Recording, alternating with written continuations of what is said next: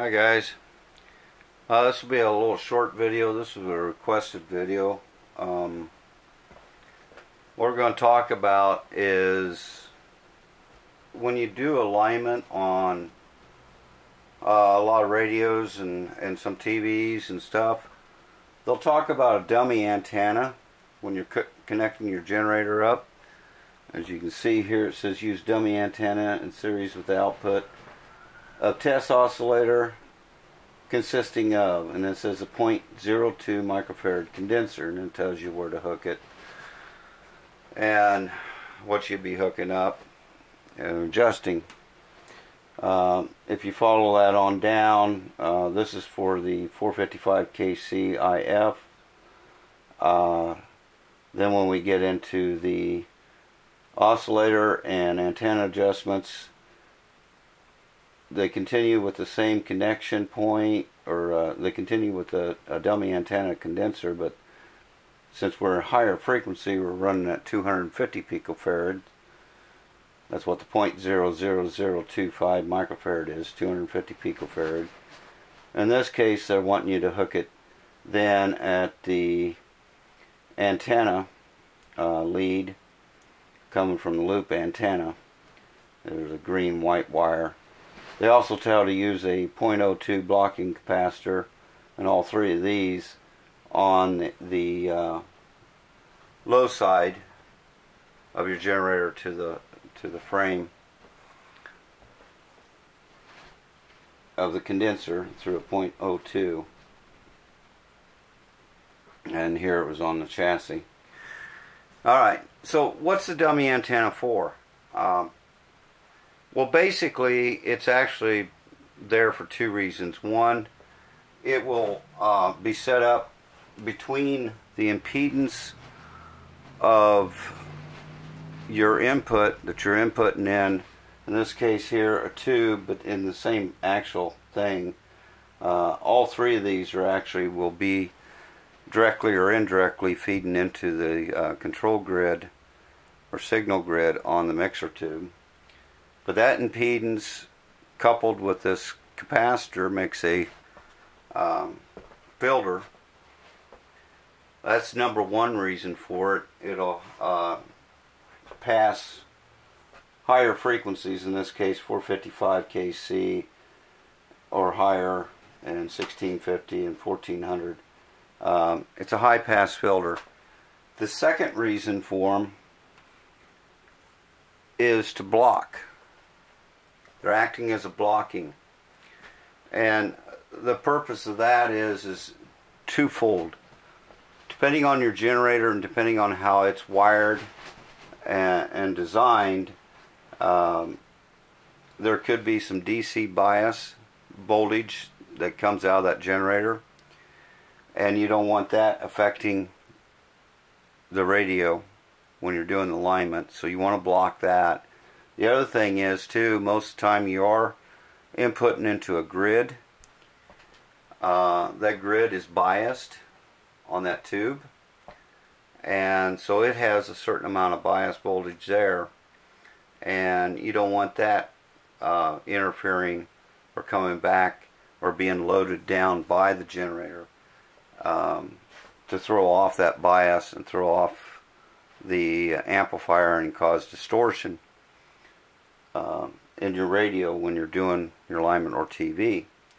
So the two main reasons is for filtering, uh, high pass filter, as well as blocking any DC, whether it's coming from the generator or feeding back from the radio or TV. So that's that's the only reason for them. Um, now, in some circumstances, they may call for a resistor in there with this. Um, that's just more for, uh, depending on how it's hooked up, it may be a termination thing, and we're going to get in that in a minute. Or it may be uh, in there for added um, RC filter time constant that they want.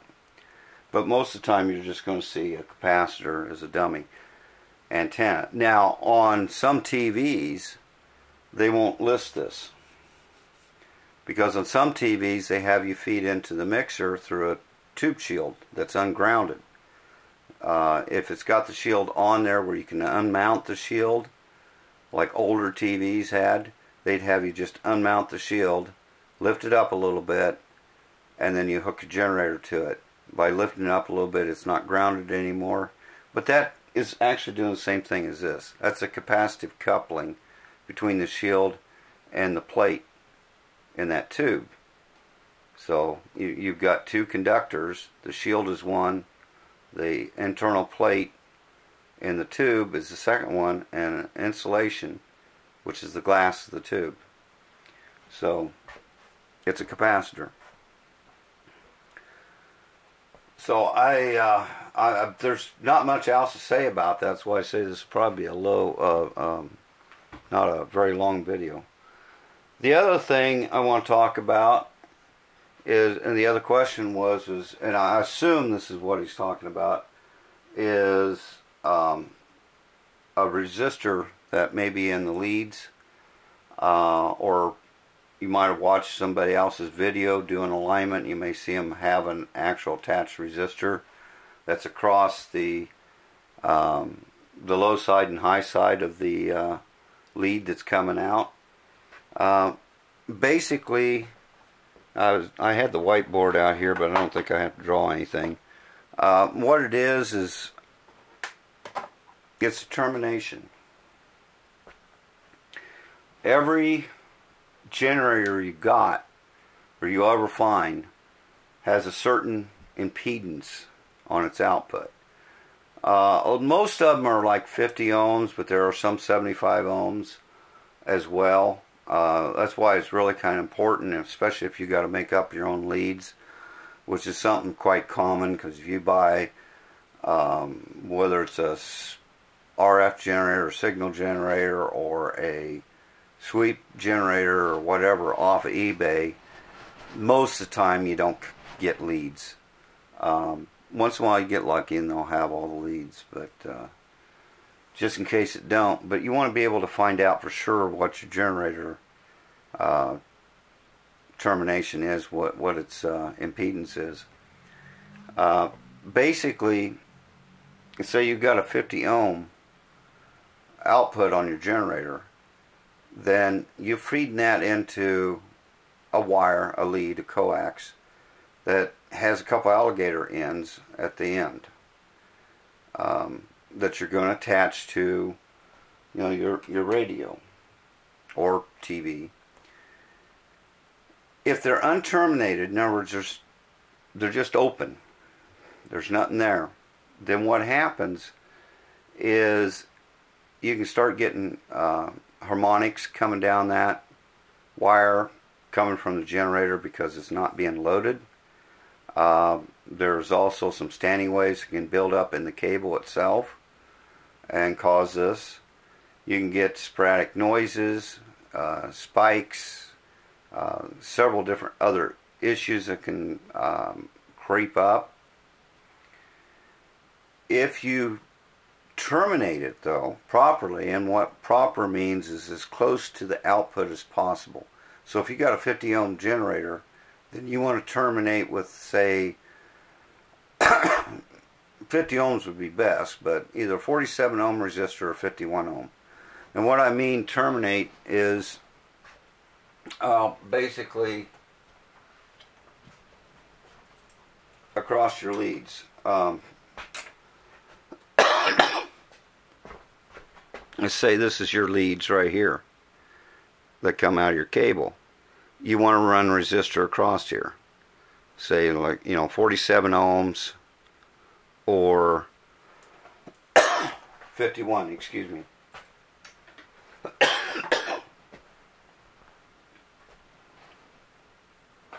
Resistor either one. 51 probably closer you know it's definitely closer to 50 than 47 but either one will work. If they actually come with the lead. Now my leader L, uh, LSW333, which I showed a video on a while back, came with leads.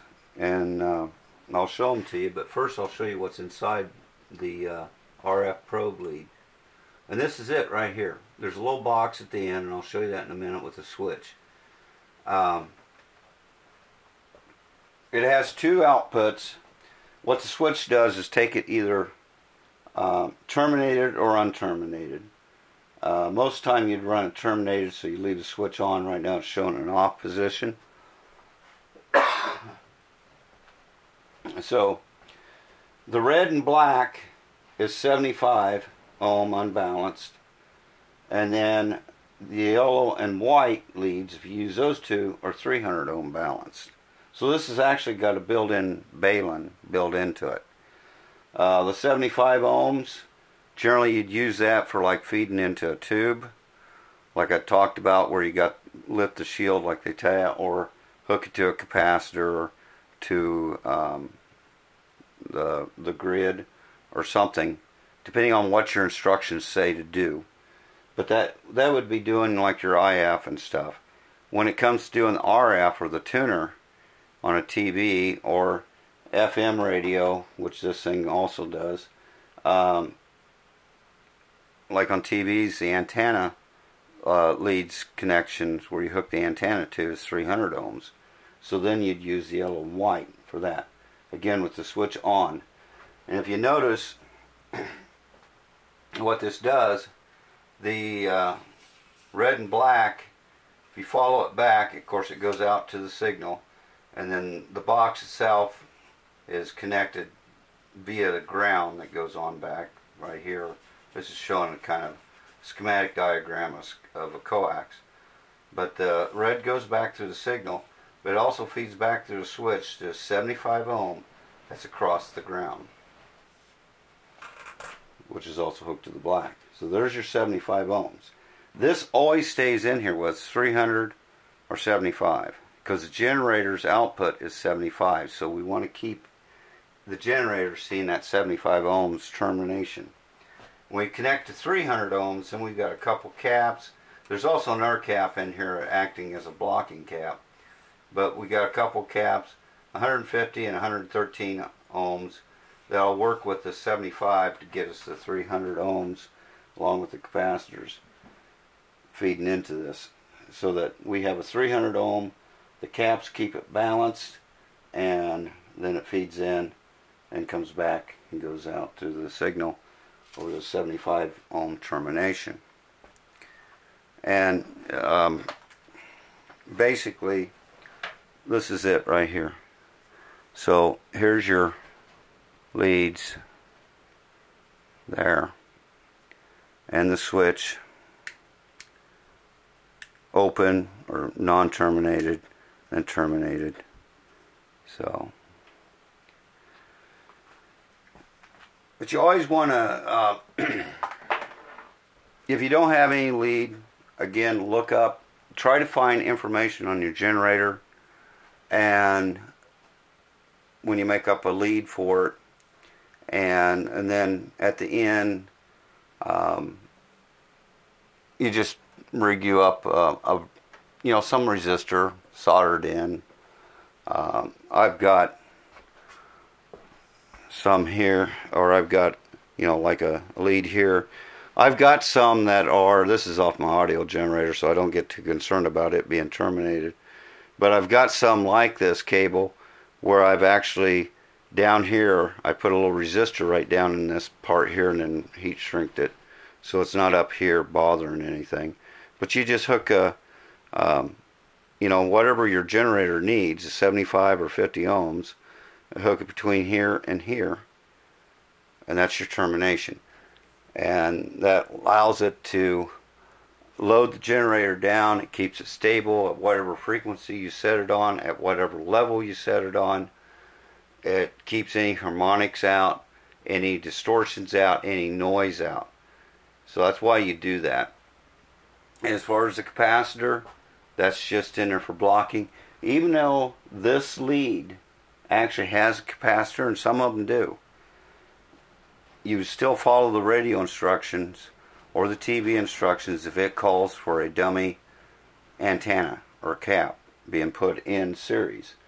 Um, for one thing, you may not know what the if this is any good or leaky or not But the other thing is too, that cap's actually working with the tube and making a filter right there. So you want that filter um, that the manufacturer or the engineers had designed when doing the alignment. So always use whatever your instructions say. And you know they'll they'll vary.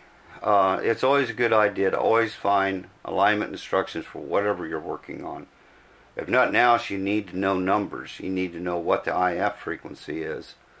Um, you know, especially 30s radios, it jumped all over the place. So down in the bottom around 160 kilocycles all the way up to over 460, 475. So, and anywhere in between. They were jumping everywhere, every manufacturer was. But it's also nice to have the instructions because um, sometimes they have different ways where they want you to connect the generator in um, and on different instructions about doing the IF. Some wants you to do the last IF by feeding the signal into the IF tube, amplifier tubes grid. And then when you get to the first IF, feed it into the mixer. Uh, others just feeding in the mixer to do both IFs is fine. And then as far as your RF adjustments, you know, the, the oscillator adjustment, um, antenna adjustment and stuff, they may have different frequencies. Not everybody's got the same frequencies they want you to run on when doing those adjustments. So always, it's always best to find your instructions for your radio uh, or TV. TVs are even worse. They're all over the board uh, with various different things that they want you to do and set up and everything else. So anyway, I hope this answers the question. It's really not a comp uh, complicated thing. It's just there for filtering and blocking is the capacitor. That's what the dummy antenna is for. And as far as uh, resistors uh, across the leads, it's just termination, uh, impedance termination and matching to the generator. And that information um, you'll have to just look up for your generator if you didn't get a, a manual with it when you uh, bought it. Uh, to uh, find out exactly because a lot of times it, it's not even marked on the front or anything so it'll be in the manual. So anyway that'll be about it for this video. If it uh, gave you some good information or you liked it give it a big thumbs up and excuse me and stuff. Uh, I'm uh, getting over a flu so still a little patchy and a little coffee, but we're about over it. Anyway, uh, I've got another video coming up. I'll probably do two, uh, today and get it also up with this one, hopefully, uh, on some other stuff I got. So, uh, got another radio and uh, some other, uh, something else too to show you. So anyway, um, you guys have a a good weekend. Um, if I don't get back to you in another video before then. Uh, otherwise, thanks for watching. Thanks for your comments. And thanks to my new subscribers. And I'll see you on the next video.